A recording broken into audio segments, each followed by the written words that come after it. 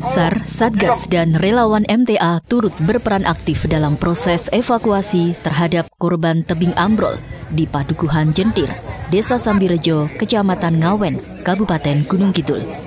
Tebing mengalami ambrol dan menimpa sebuah rumah pada Jumat sore, diawali dengan hujan deras yang mengguyur wilayah tersebut.